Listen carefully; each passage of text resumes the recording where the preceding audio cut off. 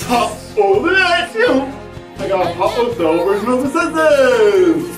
Because it's June 24th, 2023, and that means it's a celebration of the Senses Day! I want to be rainbow high.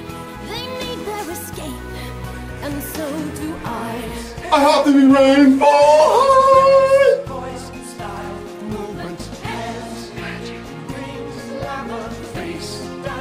Excitement.